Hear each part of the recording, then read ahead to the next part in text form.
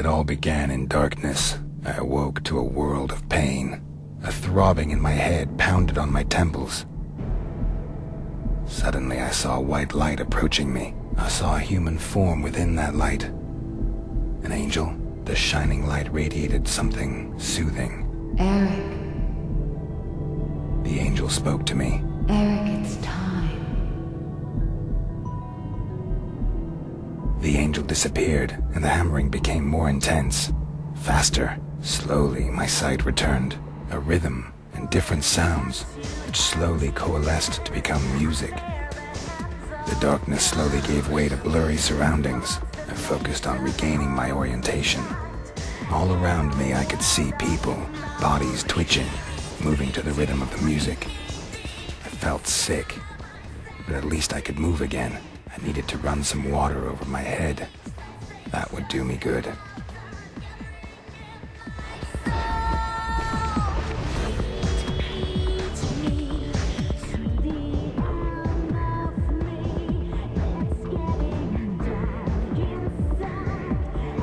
I could barely stand and the nausea was getting stronger. Gathering the last of my strength, I dragged myself on.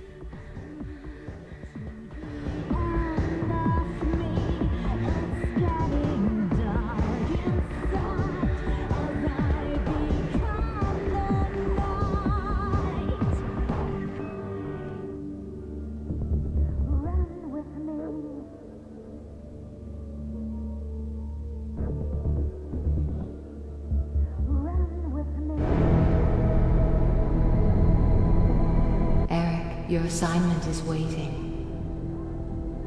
Eric. Eric Bane. The name shot through my head like a bullet. It was my name. Other memories. Nothing. The darkness in my head veiled everything.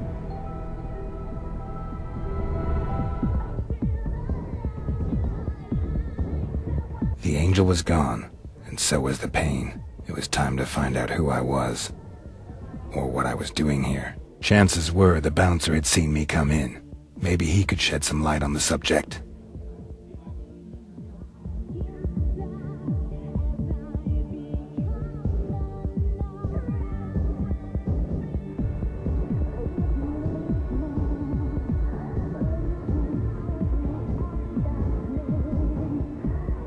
Get out of my face. We don't need an audience.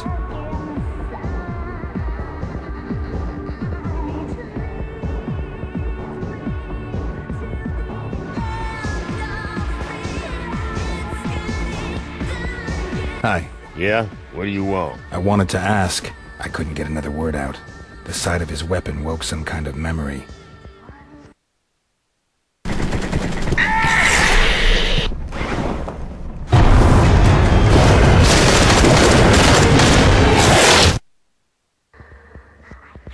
Hey, hey, man. You okay? Yeah, yeah, it's okay. I'm doing fine. Did I come to the club alone, or was someone with me? No idea. My shift had only just begun. My boss was watching the door before that. Where can I find him? Well, he's sure to be hanging around here somewhere. Ask at the bar for Tom. That flashback had felt pretty damn realistic, even if I didn't completely understand it. What should I make of it? I made my way back into the club to find the head of security. Maybe he would be able to help me. Pretty, pretty.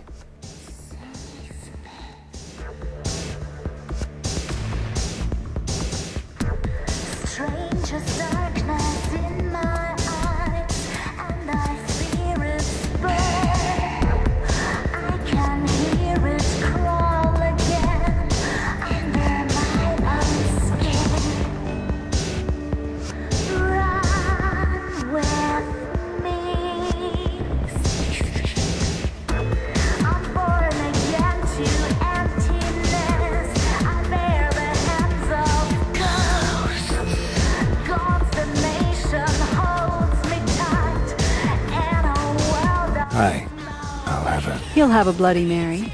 House style. Who said I wanted a Bloody Mary? Believe me, I know exactly what you want. Do you know where Tom is? Tom? Yes, I do happen to know where Tom is. Head upstairs and you'll find him. Good luck. Okay, catch you later. Yes. See you later. The stuff tasted disgusting, and it had a strange aftertaste. However, my body saw it differently, and a pleasant warmth spread through me.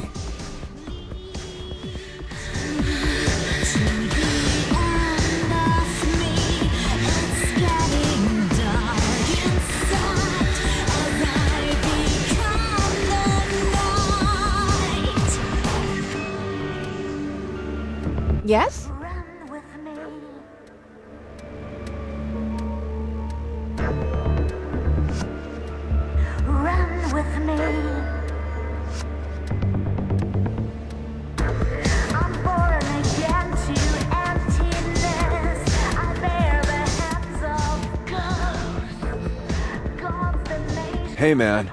You okay?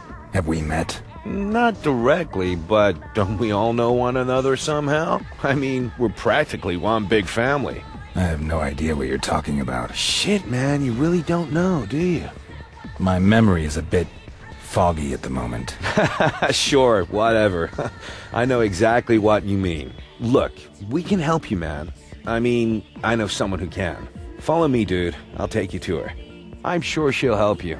Her name's Rose, and she knows more about that stuff than the rest of us.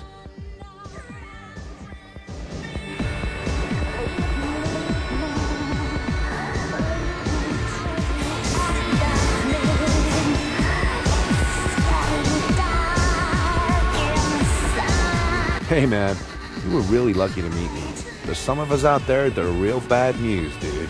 They would have just ripped your head off or something. Don't worry, we're almost there.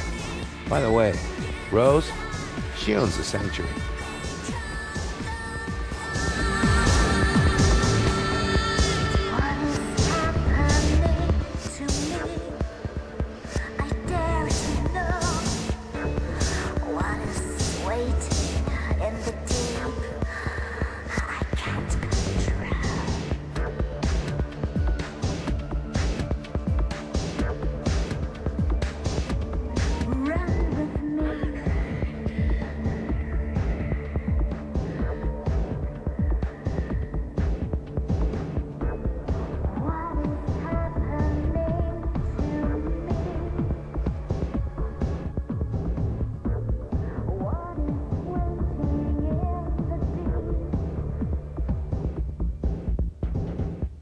Hi, Tom. I see you brought a guest. Nice to see you again. Was the drink okay? Hey, Rose, this dude has like got no idea what's happening.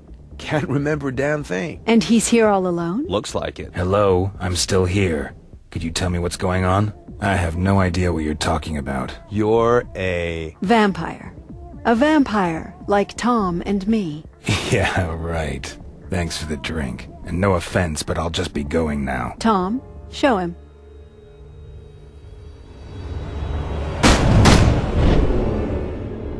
Hey, neat trick, man. What? You automatically resorted to your vampire abilities out of pure reflex. Not bad. You seem to be a natural. Thank you, Tom.